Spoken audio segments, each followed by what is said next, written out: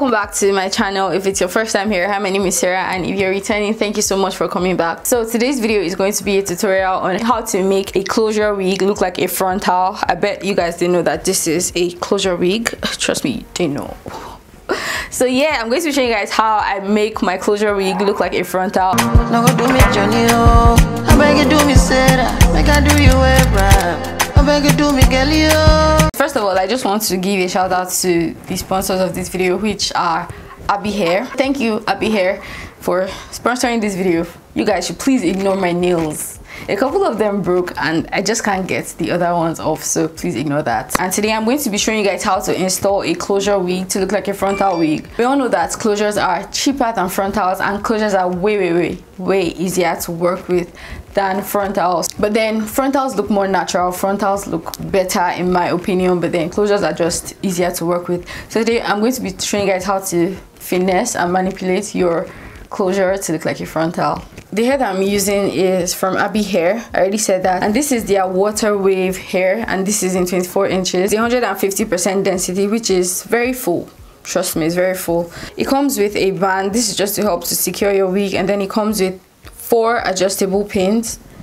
Yeah. These are all just to make sure that your wig doesn't fly off. So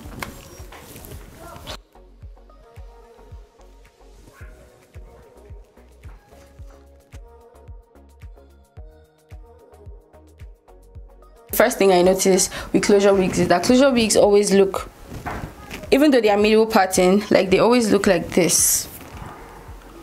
Yeah. So they basically cover the front of the hair. But then if you're doing if you want your closure wig to look like your frontal you honestly don't want to do that because you just defeated the purpose of making it look like your frontal. So you always want to customize it and take it backwards. When you're plucking you want to go backwards. When you're using a hot comb or if you're using like a hair curler you always want to yeah that's what i'm talking about. I already plucked the closure of this hair and yeah this is what it looks like. I'm going to move it to make sure it's in the middle I didn't bleach the knots of this hair. All I did was just pluck it. Next thing I'm going to do is that I'm going to cut the excess lace. And then you don't want to cut it straight because for closures you don't need to mind how you cut it because at the end of the day you're still going to cover it with the hair because it's like center pattern or side pattern or whatever but then for this one you want to make sure that you're cutting the same way that you cut a frontal. I'm going to get most of this hair out of the way. I'm going to be using my my butterfly hair clip. Just ignore this side because this is not what we're focusing on. This is a closure wig. So yeah.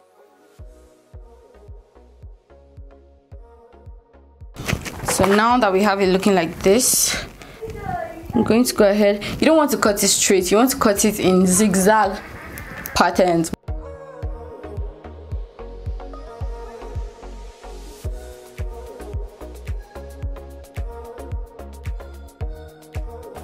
so now that i have cut it you guys can basically see how this thing almost has melted into my skin. You can honestly get away with just wearing your hair like this. Not like this but then like putting it down and get away wearing like this. But then just because i want to do little little baby hairs make you look even more natural. Like you don't need to put any glue or anything. I'm going to use just a little bit of glue. I'm going to be using the ghost bond glue. Yeah i'm going to be using this one i really really like this glue. I've had a couple of people complain about it but then i've honestly never had any problems with this glue. It's really affordable and it gets the job done. I'm going to take this hair back. Get any hair out of the way. Most people like to clean their um, clean their makeup off of the part that they're going to put it. But then i don't like to do that because when you clean your makeup off from the part it just makes it stay longer. Except i want my wig to like stay for a very long time. This one i'm probably going to remove when i'm going to bed so. Um when you have like oil or something on the surface it doesn't make it it doesn't stay as strong as it would when you don't have anything on your skin. I'm just putting very little and only one layer because like i said i'm not going to be leaving this overnight. You guys always also want to avoid the parts that have your hair because this this is a hair glue not hair gel. This is glue. So you know that you want to avoid areas that have your hair. So we don't get rid of the edges that we're trying to grow. Yeah. So i'm going to let it get tacky not dry not completely dry. Once it becomes clear i'll just apply the wig. So now that it is basically dry clear except this part but i can see that it's dry i'm just going to apply the wig on.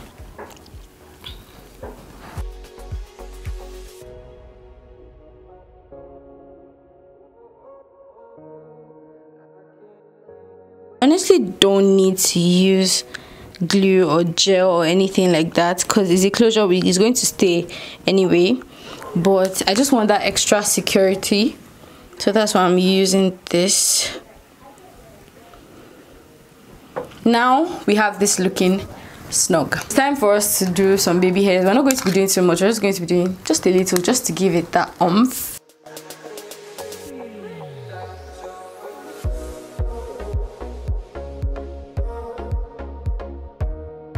get just I'm just trying to secure the wig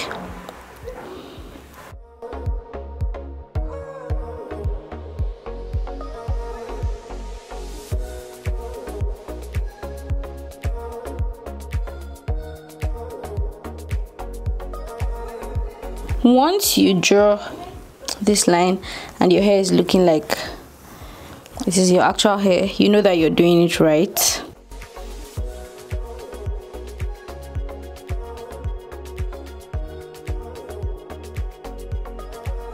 I'm just going to keep quiet and show you guys how I do my baby hairs because I have done this in a lot of my hair tutorials and I'm sure you guys already know this is my routine so let's go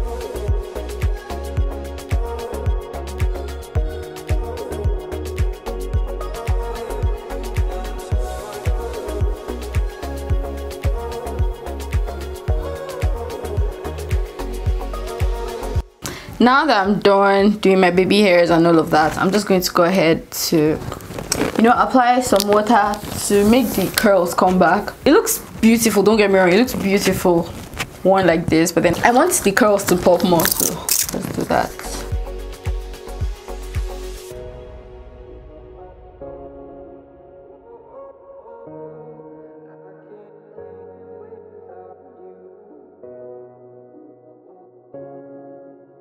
you never want to brush your curly hair while it's dry. Yeah it's the same way you don't want to um, comb your natural 4C hair or natural hair when it's dry. You also don't want to brush your wig when it's dry.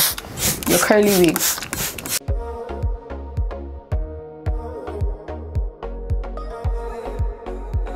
This water wave hair is actually water wave because all i'm spraying on this hair is water water is the only thing. There's nothing this water isn't mixed with anything.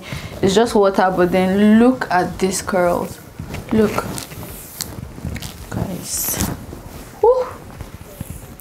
nah this is fire.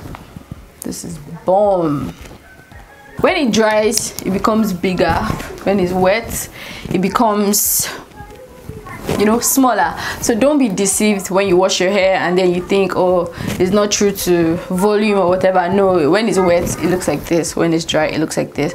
But then if you want to maintain this look like even when you so that even when you go out um, and your hair gets dry because you don't want to go with wet hair like you want to maintain this look like even when your hair is dry you still want the curls to be like this. You don't want it big like this. I suggest using hair mousse or hair foam. Yeah anything th that mousse that styling mousse. Don't put oil on your hair guys. Don't don't do that. Don't put oil on your hair hair. That will help you maintain your curls. Once you have anything styling mousse trust me that is going to work for you